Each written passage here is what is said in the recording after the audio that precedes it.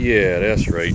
Hello, everybody. This is Shannon with Alabama's 13, and again with another edition of Tech Talk. And today we are looking at the Samsung ATIV Odyssey. It is a smartphone for Verizon, and this is the box it comes in here. And in fact, I'm recording this intro right now on the phone, so you can take a look at what the video quality looks like. I'm shooting this on uh, full HD right now. But a uh, pretty neat phone. I mean, it's it's one of the budget kind of smartphones, but it has a great number of bells and whistles to make anyone enjoy using this phone. Uh, it's got a nice screen, good processor, and everything else. So let's take a look at the specs on the phone right now, shall we? All right, here we are, the Samsung ATIV Odyssey Active, whatever you want to call it that, for Verizon. Yeah, it's a Windows 8 phone. Here we are.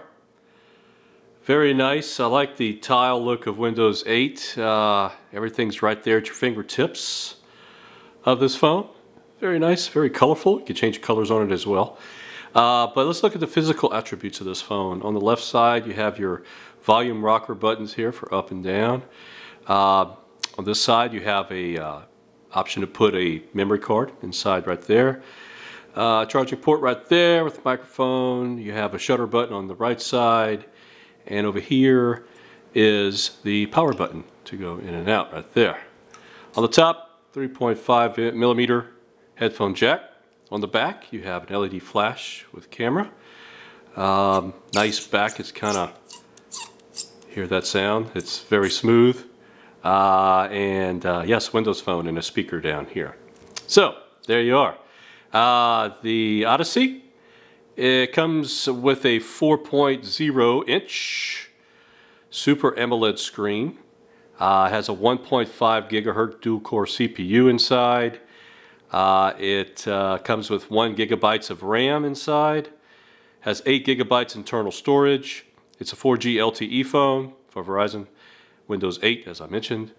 Uh, it comes with a 5 megapixel rear camera on the back with LED flash has a 1.2 megapixel front facing camera right up here. Um, it does shoot full HD 1080p video on here, which is very nice. And it comes with a 2100 milliamp battery. So um, overall, the phone's been responsive. It's probably one of the um, introduction type of models, smartphones for Windows 8 from Verizon. Um, but in my experiences, it's been pretty snappy.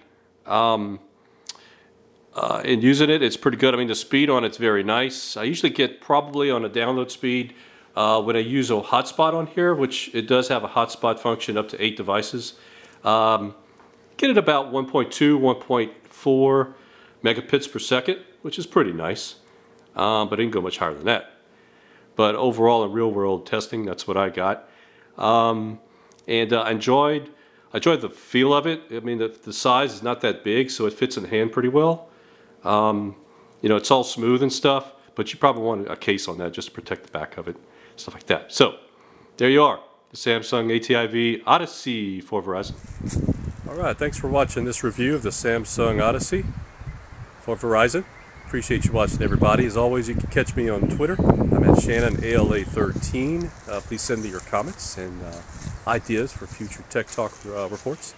Also online at alabamas13.com. Just check out the Tech Talk section on that website. And also um, on YouTube, we have an Alabama's 13 channel on YouTube where I'll post all the Tech Talk reviews as well. Uh, please check that out, leave comments, whatever you like on that. So we appreciate you watching, everybody. I'll be back again with another review of a cool looking device very, very soon. So until next time, have a great time, everybody. And yeah, that's right.